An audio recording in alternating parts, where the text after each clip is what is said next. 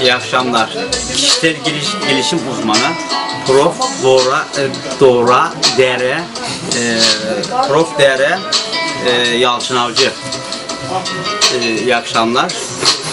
Yıllar önce Amerika Birleşik Devletleri New Jersey'de yaptığım çok özel psikoloji araştırma çok özel yaptığım psikolojik araştırmayı sizlerle paylaşmak istiyorum. Bu da bu arada kedi.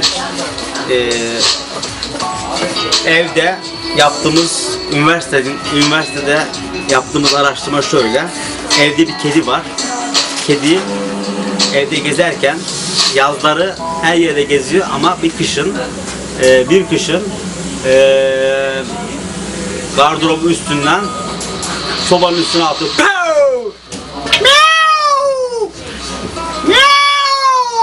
Diye sesler çıkartıyor.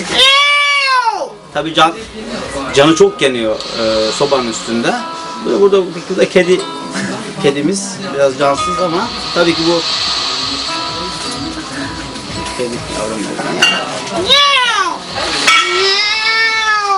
Böyle kedi.